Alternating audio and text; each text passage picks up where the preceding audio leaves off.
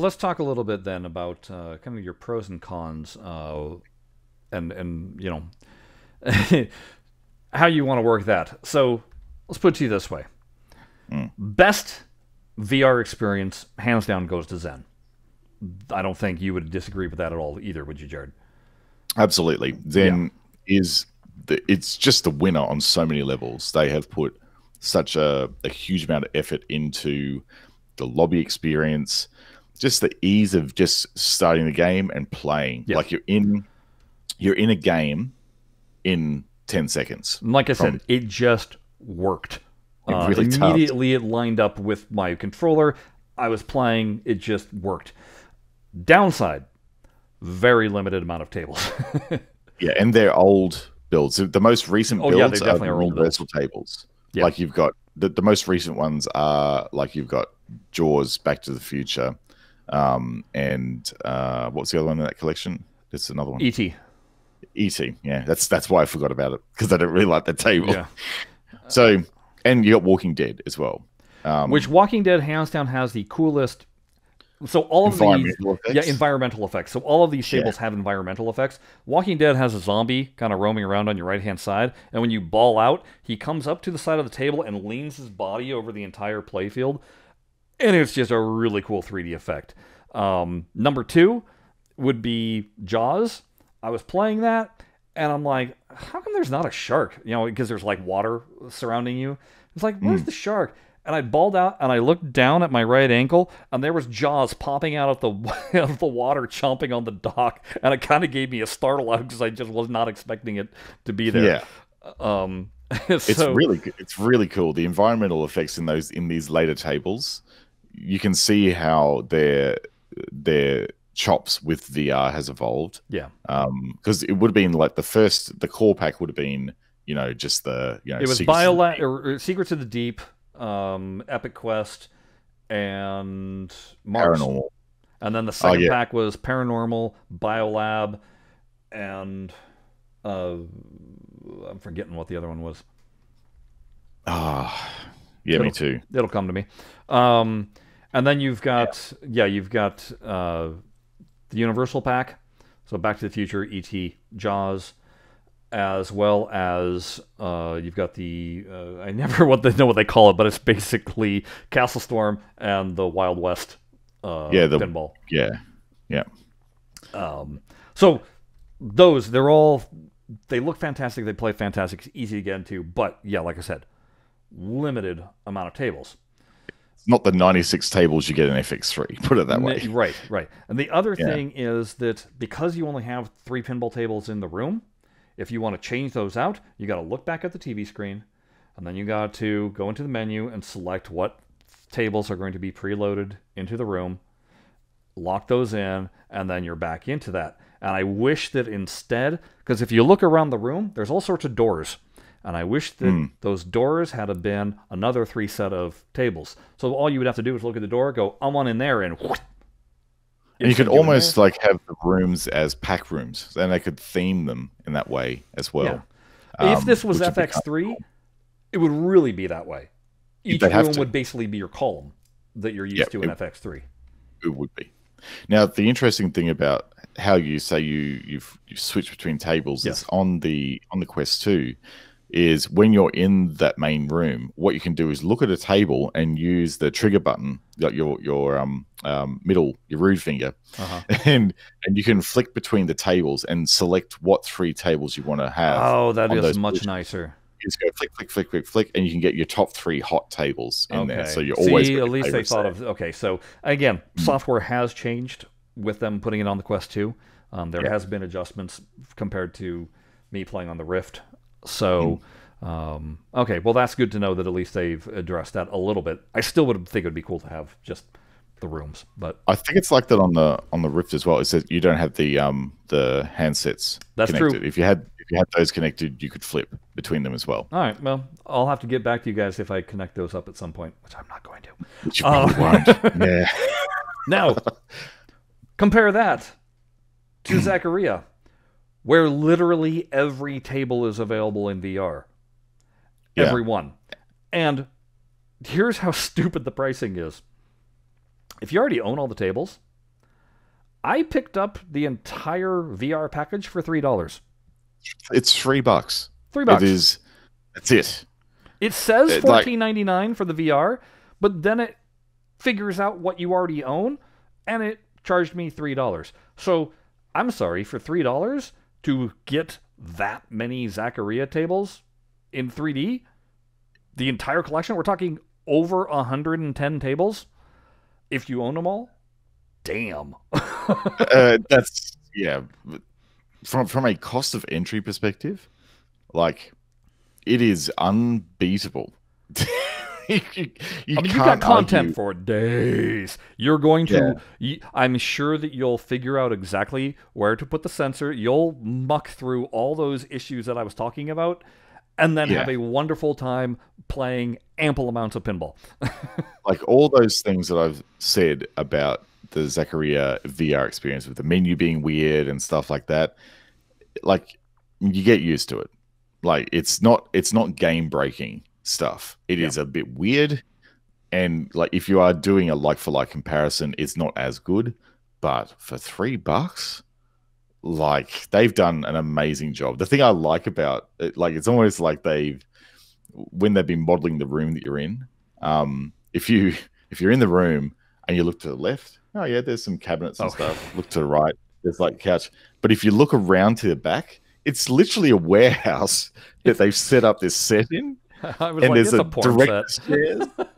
it is just, it is like they've gone, yeah, you know what? We're not. it's VR, but guess what? We're not making a complete room out of this. You know what's you know what's like a funny about that, Jared, is for people that have uh, with Pinball Arcade, for people that were doing the cabinet mod, they were able Yeah. to manipulate and look anywhere in the room in order to be able to do that. Farsight did the exact same thing. It's Oh, really? Yep. It's a three wall. It's a three wall set, and there is no roof, and you can even see that sometimes in reflection. You can see like the lighting that would have been above. Um, yeah. So I mean, it's not exactly uncommon. I don't think. I think it's I think it's like it, it's it just shows to me that the the Magic Pixel dudes have a bit of a sense of humor because they've gone, you know, let's let's not you know go nuts here. All you care about is the pinball. That's what you're here for. yeah. Let's make it look like you're in a like a, a nice room, and you can change the environments and everything. They give you a heap of options you can mess around with in in there as well. Which is kind But- of Magic Pixel's thing. Yeah, An overload of options. yeah. Um, and this is the thing like if they could just give you some really nice presets in the game you'd be able to get in there and have a very similar experience to to zen's offering and like you can get in there i just want to start a game get in there. It knows what your position is. Like if they just made like again i'm not expecting this at all for three bucks but if they if they got in there and just made some tweaks uh, it would be a comparable experience to zen um if they got it right. Like because the the work that they've done on the tables it clearly shows Well, it would simply of- come down to again pushing the X button to reset where you are, following Zen's model, which is no matter what direction my headset is facing, no, it doesn't matter where the sensor is, that it centers up to that, rather Mm-hmm. than me having to center myself to the the sensor itself.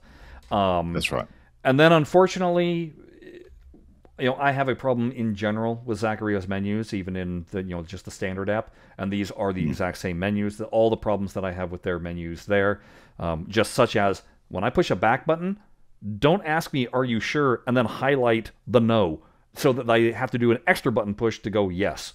Um, Yeah. That's in it's the exact same menu system. So there are definite tweaks that they should do. They should be looked. They should have looked at this in VR themselves, because it feels like they never put a headset on.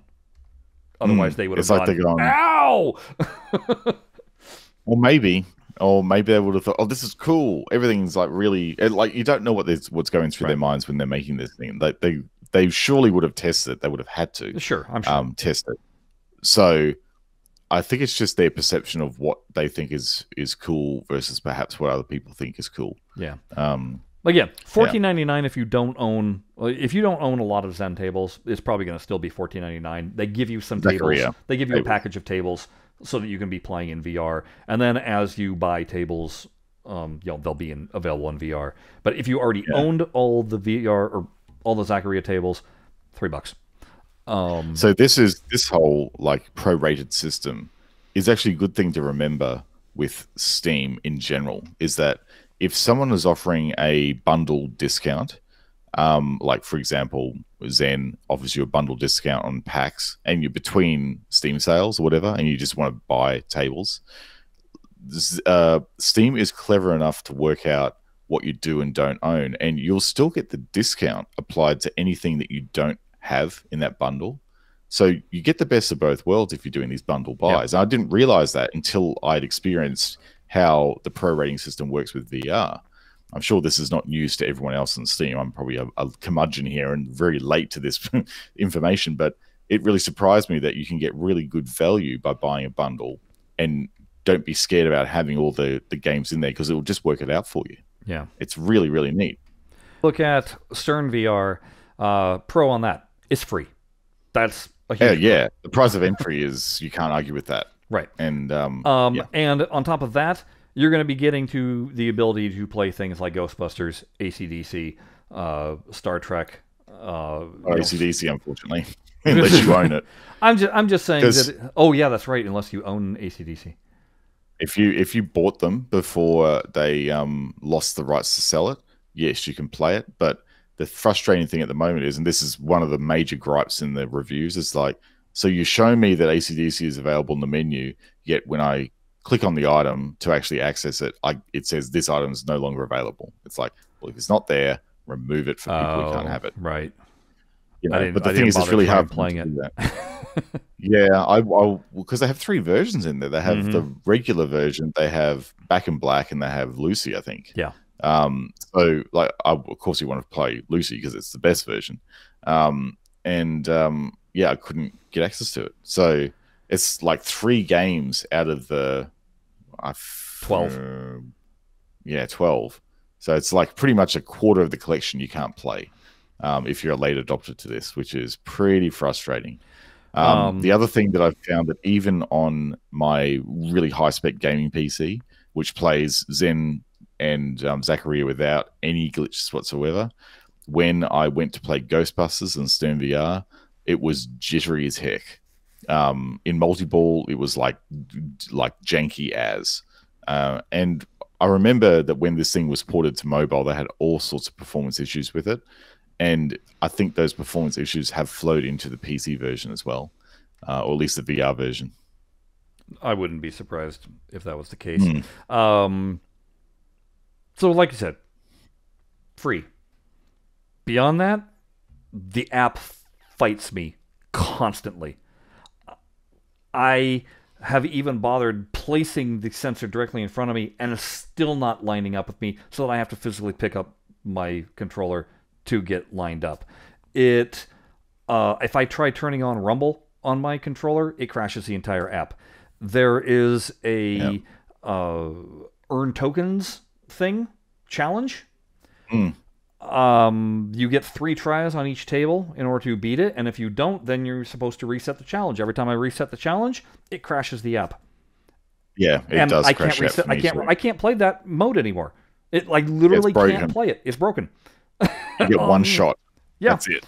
Um. No, I actually went in there and um, like side story to that, I went in and reported that in the Discord chat for Farsight. And I thought, oh, I've logged in because I wanted to get on the FX3 uh, Discord. And I thought, oh, this is still in my profile. Uh, I'll have a look in there. There was some updates there from Rob, who goes by the name of Flippy Floppy.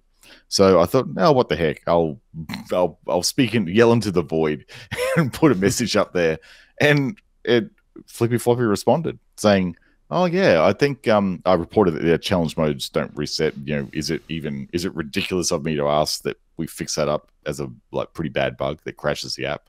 Goes, "Oh yeah, we're gonna have to go into the app pretty soon and do some updates on it." "Quote unquote," was what we got from Flippy Floppy. Now, don't count what- on it. uh, no, no, but this is the concern I have. Where in the Stern license position are they with Ghostbusters, Star Trek, and Mustang?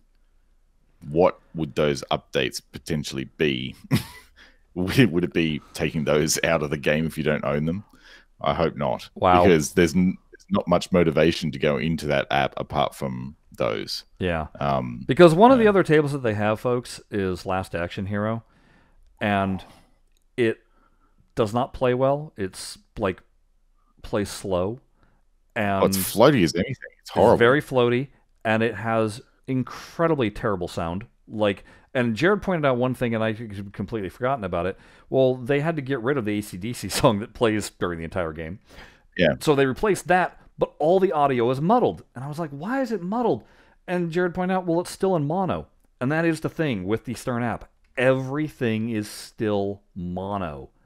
yeah. It's not in stereo. All your mechanical effects of the table are mono. All the audio, mono. You listen to both Zaccaria and Zen, all your mechanical effects are stereo. A stereophonic. It Yeah. brings you into the environment. So, Yeah. I mean, It- I, I don't want to, you know, piss all over Farsight's parade here, but it's a pretty terrible app.